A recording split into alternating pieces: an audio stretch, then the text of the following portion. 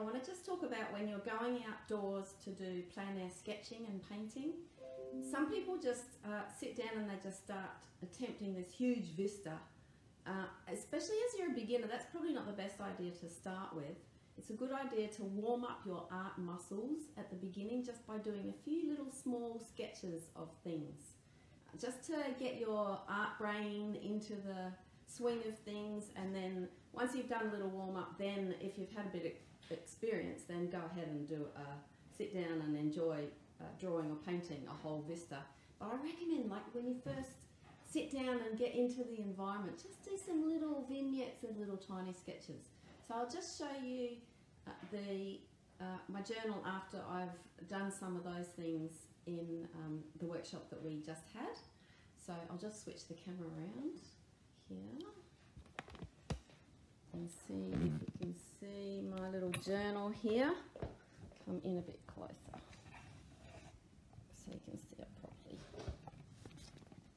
So this is a little journal that I was using on the day and it's just a little I always keep the labels off the outside of the journal in the inside of the back cover so I know what it is I'm dealing with.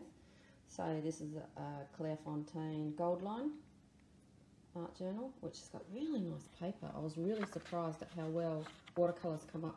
So this is from a previous workshop that I did, and I just did some little tiny flowers in watercolour just by sitting with the uh, sketchbook on my lap.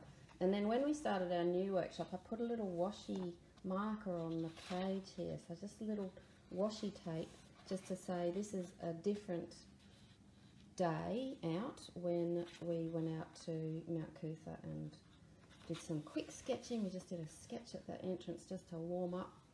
And then on the inside, the first thing I did was, without any paint or any colour, just with a pencil, I started to have a look at the little Japanese statues that were around. There's about half a dozen scattered around in the Japanese garden there. And all I did was just draw those standing in front of them, just draw with a pencil, just the outline shape of those. I didn't do any painting at that stage. I just started out by warming up with a couple of little pencil drawings only of these shapes of the statues, just with a couple of guidelines of what was above. I know there was a weeping willow above there, so I did a couple of lines in there.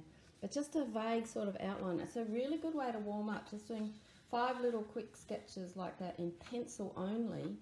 And then I kept going with the drawings and paintings as I went around. And I quite love doing little small paintings, especially in a small journal like this. I didn't take a big pad of paper in this case.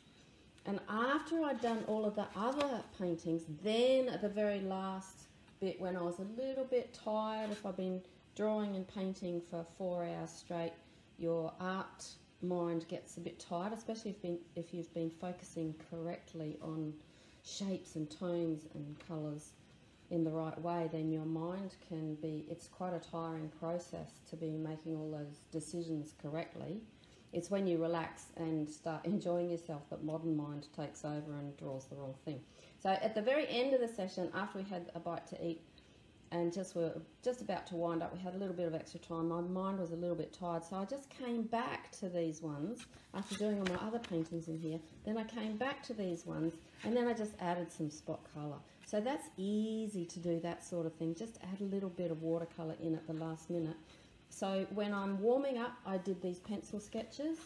And then when I'm sort of warming down from the art fitness session, then I come back to these and just do a little bit of light watercolour to add into them, which doesn't take too much taxing of the brain. Getting the shapes and the tones is the more taxing part of it. So uh, that's a really good way to do it. Just warm up first and then keep something simple and fun for when you're finishing up at the end of it. So there's your tip for the day. Thanks for watching.